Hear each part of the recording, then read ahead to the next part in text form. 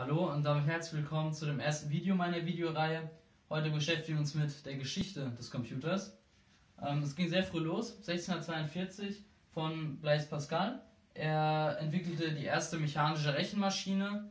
Sie rechnete im Dezimalsystem und konnte lediglich Additionen durchführen. Sie wurde bedient mit sogenannten Lochkarten. Ähm, das sind einfach kleine Papierstücke mit Löchern drin und darüber erfolgte dann entsprechend die Eingabe. 1850 entwickelte George Boole seine boolische Aussagenlogik. Ähm, ihr mag euch jetzt vielleicht fragen, was hat das mit einem Computer zu tun? Naja, es ist der theoretische Grundstein dafür, wie man Operationen durchführt. Das werden wir später sehen, wenn wir uns mit Gattern beschäftigen, wieso diese Aussagenlogik so wichtig ist und warum sie einen Grundstein für diese für die restlichen Entwicklungen darstellte. Speziell, wenn nicht mehr in Dezimal, sondern im Binärsystem gerechnet wird. 1936 entwickelte Alan Turing die Turing-Maschine, die könnte euch auch aus dem Informatikunterricht bekannt sein.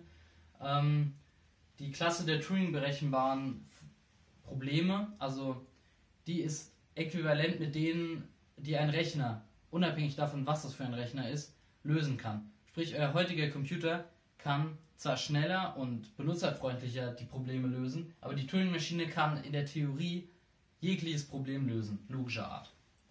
1936 bis 1938 entwickelte Konrad Zuse mehrere seiner Z1 bis Z4 Computer. Es war der erste, es waren die ersten programmgesteuerten Rechner und sie funktionierten mit dem elektromagnetischen Relais aus dem Fernmeldewesen. Er eignete sich quasi aus einem, aus einem anderen Gebiet ähm, einfach die Technik an, um dann auf seine Weise einen Rechner umzusetzen, der dann schon elektronisch und nicht mehr mechanisch funktionierte.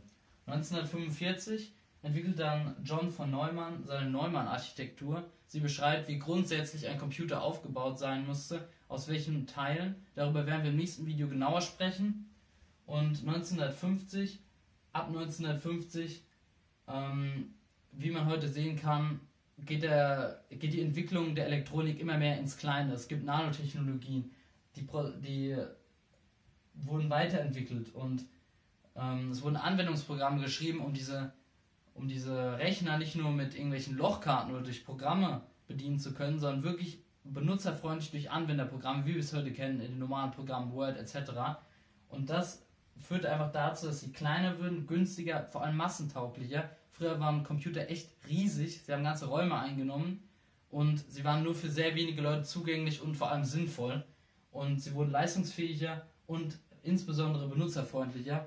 Heutzutage kann nahezu jeder sein mobiles Endgerät in seiner Hosentasche benutzen. Im nächsten Video werden wir über die Neumann-Architektur sprechen und ähm, ich hoffe, bleibt dran. Viel Spaß, danke fürs Zuschauen.